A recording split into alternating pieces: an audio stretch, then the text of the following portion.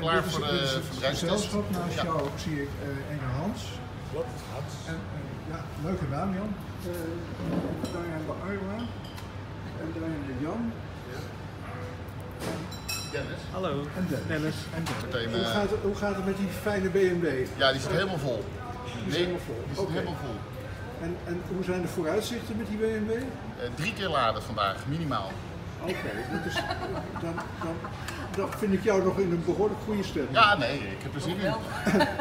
Nou, eh, we, we gaan kijken hoe Nou, de vier auto's voor de test zijn eh, bijna allemaal volgeladen. BMW i3 zit al vol. Tesla Model S zit nu ook vol.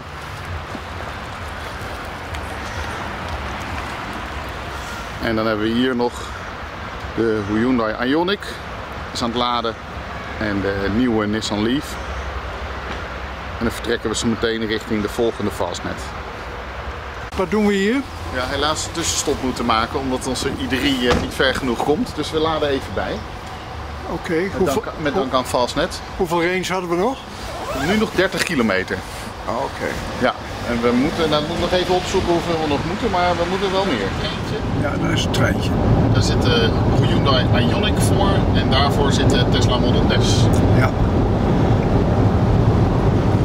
En we hebben net even een tussenstop gemaakt.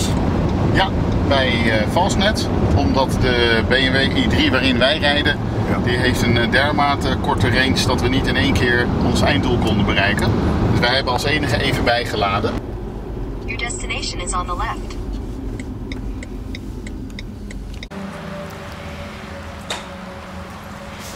Zo, hier is de Hyundai.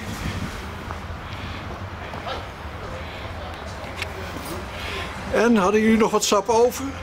Sorry, hebben we nog Hebben jullie nog sap over? Ja, ja, 28% Dus eh Oké. Ja, je hebt een beetje lopen slipstreamen, hè, jij? is de Nissan.